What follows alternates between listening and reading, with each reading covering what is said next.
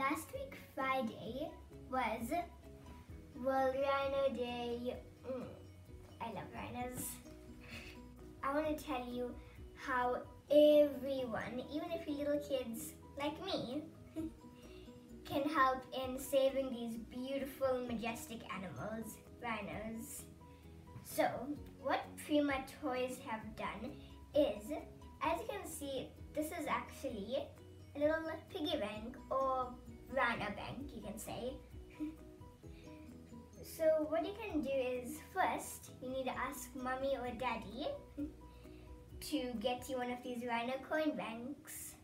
And then, what you can do is, you can fill, you fill it up. Oh, and when you buy a rhino, a rhino coin bank, guess what? They Prima Toys actually donates 10 rand to helping to save rhinos. So, and I I want to help that guys, and you can too. So, what you can do is now you can help even more.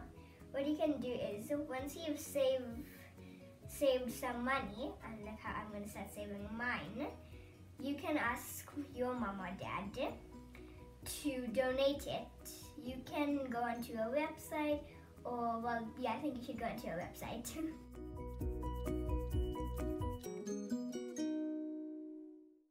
and you can see them how to donate, and you can be a hero, guys. You can be a hero and you know you're gonna feel good you're gonna feel really good because you are helping save these wonderful animals.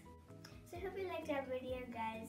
If you did please give it a thumbs up comment and subscribe to our channel. Bye